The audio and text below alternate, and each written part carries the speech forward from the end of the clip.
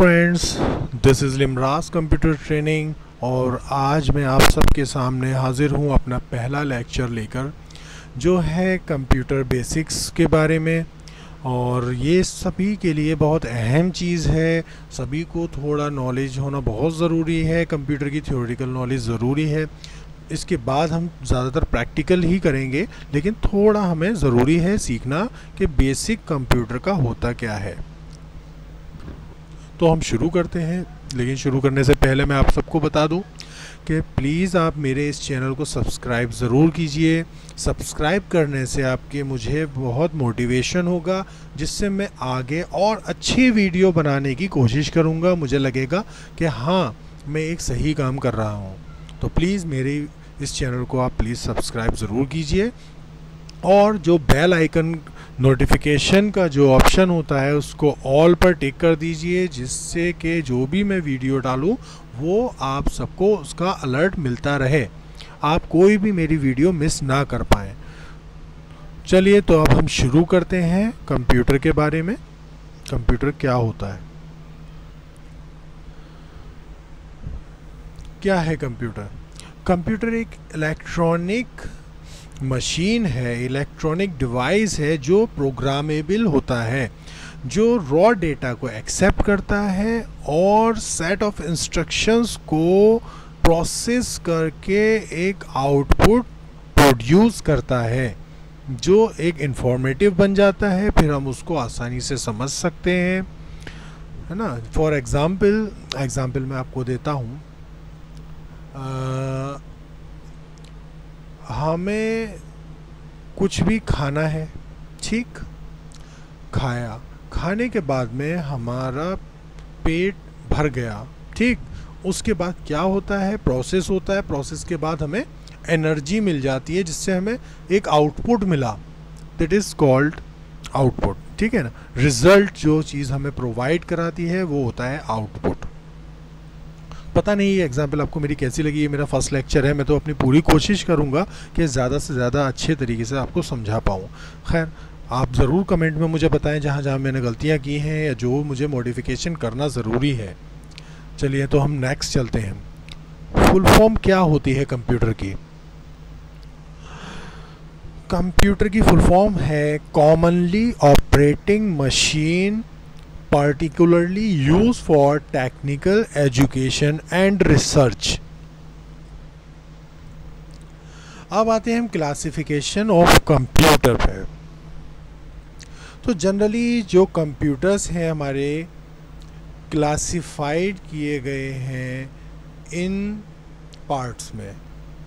पहला है personal computer दूसरा है वर्क स्टेशन तीसरा है मिनी कंप्यूटर और चौथा है मेन फ्रेम और पांचवा है सुपर कंप्यूटर। तो गाइस अब हम इसको समझते हैं थोड़ा। पर्सनल कंप्यूटर होता क्या है? आप सभी जानते हैं पर्सनल कंप्यूटर और ज़्यादातर लोगों के पास पर्सनल कंप्यूटर होता ही है। पर्सनल कंप्यूटर एक स्मॉल कंप्यूटर होता है और सिंगल यूज़र कंप्यूटर होता है। मतलब एक वक्त में एक ही शख्स उसको यूज़ कर सकता है और ये based on processor micro processor पे बेस्ड होता है, जिसके साथ कीबोर्ड अटैच होता है, डाटा को एंटर करने के लिए मॉनिटर होता है, डिस्प्ले करने के लिए इंफॉर्मेशन, यानी आउटपुट, यानी रिज़ल्ट प्रोड्यूस करने के लिए। और एक स्टोरेज डिवाइस अटैच होता है जो आपके डेटा को स्टोर करता है, ठीक है? तो ये हुआ हमारा पर्सनल कंप्यूटर, जो आम लोग यूज़ करते हैं, हम सब लोग यूज़ करते हैं, वो कहलाता है पर्सनल कंप्यूटर। फिर है वर्क स्टेशन वर्क स्टेशन क्या होता है? वर्क स्टेशन एक powerful single user single user computer होता है। ये भी सिंगल यूज़र ही होता है, लेकिन बहुत पावरफुल होता है एक वर्क स्टेशन ये भी बिल्कुल पर्सनल कंप्यूटर की तरह ही है। माइक्रो प्रोसेसर ही इसमें यूज़ किया जाता है, लेकिन इसके साथ हायर क्वालिटी मॉनिटर अटैच्ड होता है, बहुत अच्छी विजिबिलिटी के साथ। ठीक है, तीसरा है मिनी कंप्यूटर ये एक मल्टी यूज़र कंप्यूटर होता है। ये ten to hundreds of user simultaneously इसको यूज़ कर सकते हैं मतलब एक साथ काम कर सकते हैं। यानी जिसे हम सेंट्रल कंप्यूटर भी कह सकते हैं कि हमारा एक सीपीयू बीच में कहीं लगा हुआ है, उससे दस से लेकर सौ कंप्यूटर सौ मोनीटर तक अटैच्ड हैं और सब अपना अपना काम कर रहे हैं। यानी क्या हुआ? एक कंप्यूटर को मल्टीपल यूज़र्स यूज़ कर रहे हैं। तो कितना पावरफुल होगा, आप खुद ही समझ सकते हैं। नाम तो छोटा है मिनी कंप्यूटर लेकिन है मल्टी यूज़र और बहुत बड़ा काम है। ठीक है ना? तो अब नेक्स्ट है main frame main frame computer ये भी एक बहुत पावरफुल कंप्यूटर होता है और मल्टी यूज़र होता है। इसमें hundreds of thousands of user simultaneously use कर सकते हैं एक साथ। समझ रहे हैं आप? यानी सौ या हज़ारों लोग एक साथ इसको यूज़ कर सकते हैं। लास्टली सुपर कंप्यूटर इसका नाम तो आपने सुना ही होगा। सुपर कंप्यूटर सुपर कंप्यूटर बहुत फास्ट होता है, जो hundreds of millions of instruction per second perform कर सकता है। इतना फास्ट कंप्यूटर होता है ये। आप इसका अंदाज़ा भी नहीं लगा सकते। तो ये कुछ क्लासिफिकेशन थी कंप्यूटर की, जो आज मैंने आपको बताई है। नेक्स्ट चीज़ फंक्शनैलिटीज़ ऑफ़ कंप्यूटर यानी कंप्यूटर काम कैसे करता है? अब इसके लिए मैं आपको एक ह्यूमन बीइंग की एग्जांपल दूँगा। हो सकता है आपको हँसी आए, लेकिन मैं एक समझाने के बतौर आपको एक एग्जांपल दूँगा। अब इसकी फंक्शनलिटीज़ है क्या एक्चुअली हम पहले इसके बारे में समझ लें। पहली चीज़ होती है इनपुट यानी हमें कुछ भी कंप्यूटर में एंटर करना है। एंटर क्या करते हैं आप? रॉ डेटा करते हैं। रॉ डेटा क्या होता है? यानी कोई भी चीज़ असिमेट्रिक अनइंफॉर्मेटिव डायरेक्टली हम एंटर कर रहे हैं कंप्यूटर में। जैसे कीबोर्ड है। कीबोर्ड से हमने प्रेस किया जी हमें लिखना है गुड तो हमने किया जी फिर किया ओ फिर किया ओ फिर किया डी इसका मतलब क्या हुआ? गुड ठीक? हम तो समझ गए। लेकिन कंप्यूटर में जब हम एंटर करेंगे तो एक एक अल्फ़ाबेट एंटर करते हैं, जिससे क्या हुआ? इनपुट हुआ इनपुट हुआ, यानी कंप्यूटर में एंटर हो गया वो। ठीक? उसके बाद का काम क्या है? वो होता है प्रोसेस और आगे उसको फिर से यूज़ किया जाता है, जा सके, इसलिए होता है स्टोर यानी दो काम आपके इसमें आगे होंगे, एक प्रोसेसिंग और दूसरा स्टोरेज तो पहला काम क्या हुआ? इनपुट जिसको आपने एंटर किया, उसके बाद प्रोसेस और स्टोरेज हुआ, फिर लास्टली आपको उसका एक आउटपुट मिला। क्या मिला आउटपुट प्रोसेस होने के बाद good G double O D good तो ये आउटपुट आपको मिल गया प्रोसेसिंग होने के बाद। अब एक एग्ज़ाम्पल ह्यूमन बीइंग के ऊपर मैं दूँगा इनपुट प्रोसेसिंग और आउटपुट में, ठीक है? तो इनपुट क्या है? अब जैसे है, इंसान को भूख लगती है, इंसान वीक फील करने लगता है तो हमें कुछ खाने की ज़रूरत है, ठीक? हम कुछ भी जो भी फेवरेट या जो भी हमारा दिल कर रहा होगा, हम खाएँगे या पियेंगे, ठीक?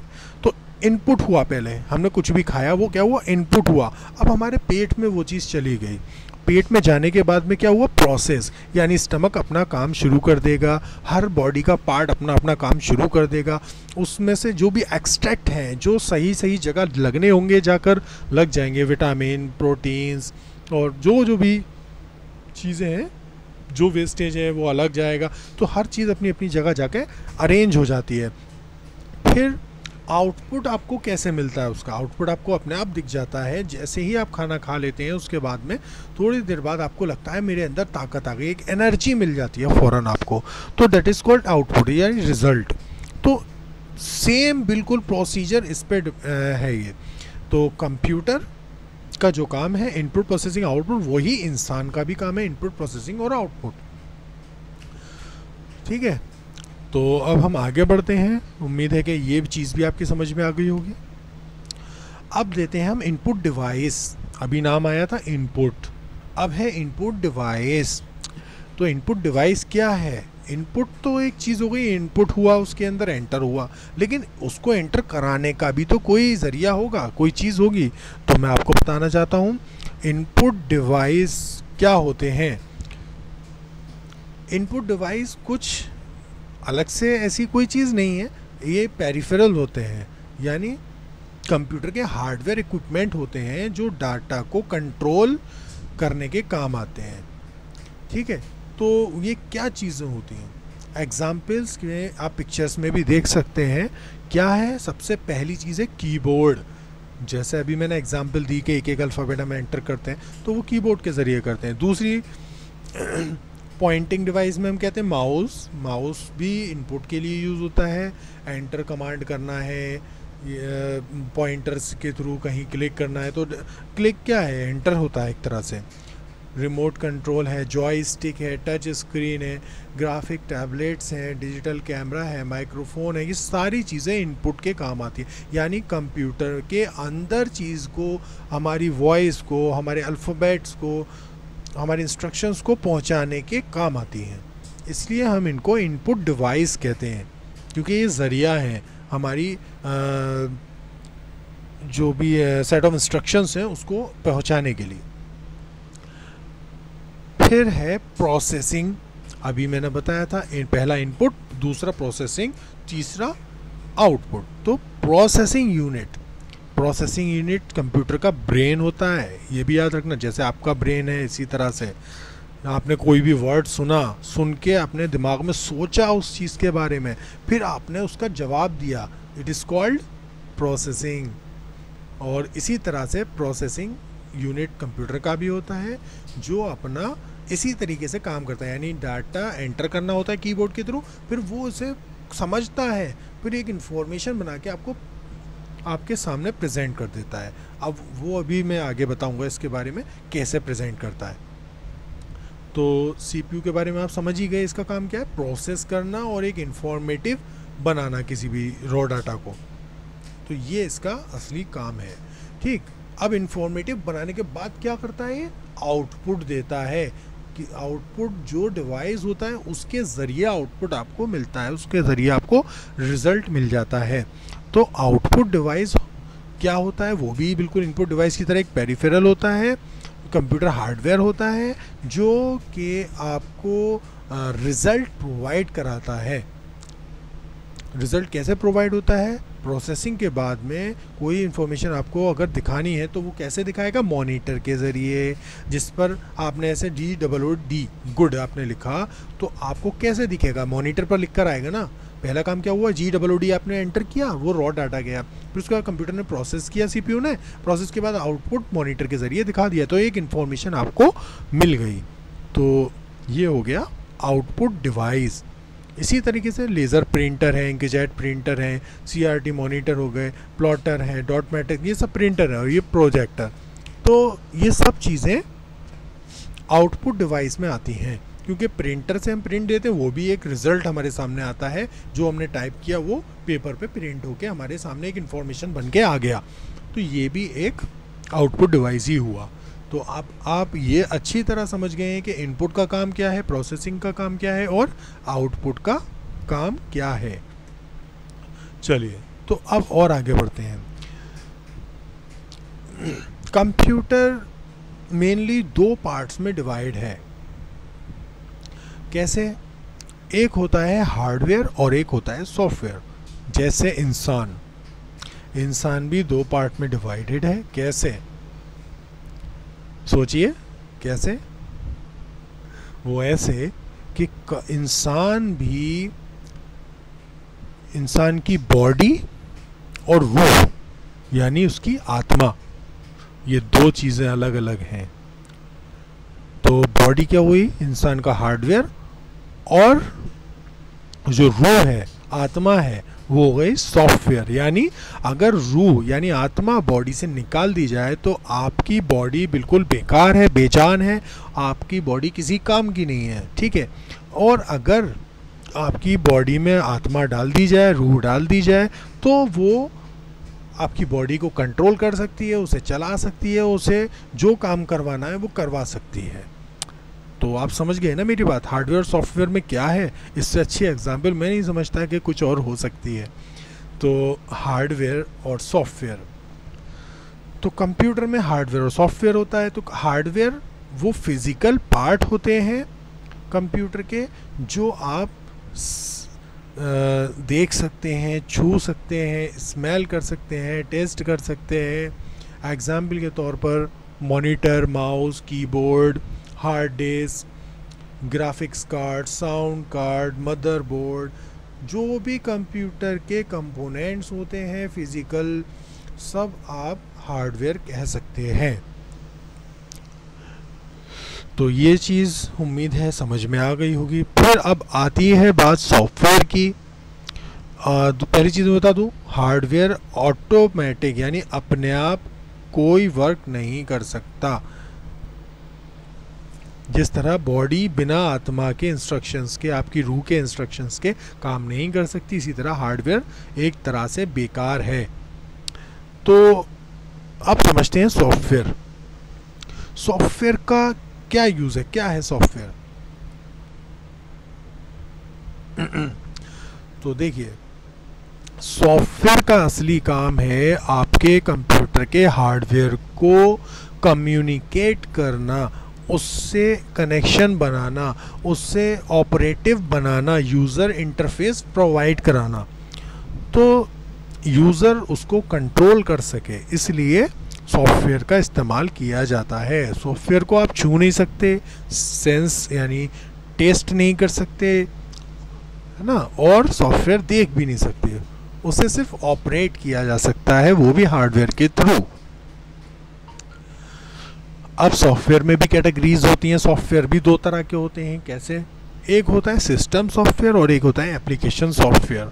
सिस्टम सॉफ्टवेयर होता क्या है एक्चुअल में? सिस्टम सॉफ्टवेयर आपका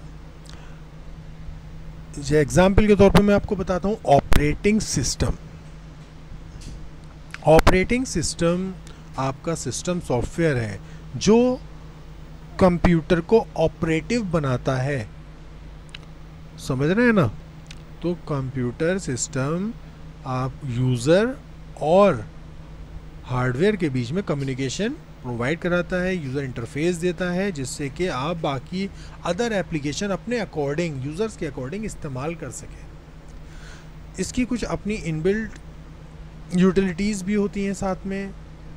डिस्ट जैसे disk formatter file manager display manager text editor user authentication login और management tools networking device control software तो ये इसके अपने भी कुछ इनबिल्ट यूटिलिटीज़ होती हैं जो आप बिना किसी अदर एप्लीकेशंस को इंस्टॉल किए यूज़ कर सकते हैं।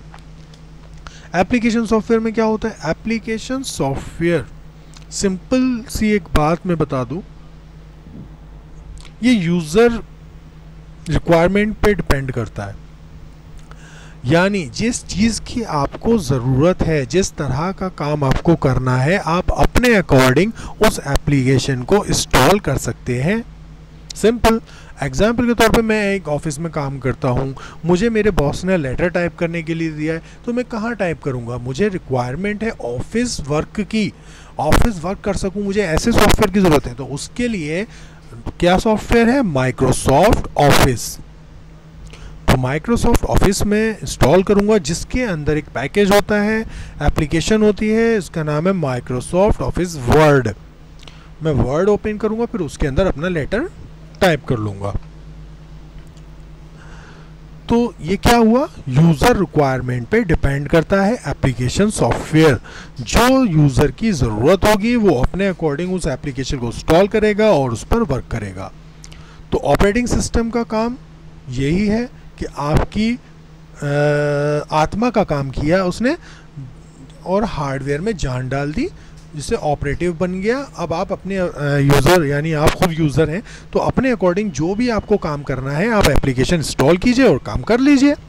ये हो गया एप्लीकेशन सॉफ्टवेयर का काम। तो फ्रेंड्स आज की हमारी वीडियो यहाँ पर ख़त्म होती है। Thank you for watching Limraj computer training और आगे भी मेरी वीडियोस आती रहेंगी। उससे पहले प्लीज़ आप मेरे इस चैनल को सब्सक्राइब कर लीजिए। सब्सक्राइब करने के बाद बेल आइकन जो होता है, नोटिफिकेशन, उसको ऑल पर टिक कर दीजिए जिससे कि आपको मेरे लेक्चर्स लगातार मिलते रहें और आप मेरा कोई भी लेक्चर मिस ना कर पाएँ। तो मिलते हैं अपनी नेक्स्ट वीडियो में। कुछ और अट्रैक्टिव और कुछ और प्रैक्टिकल वर्क लेकर। goodbye.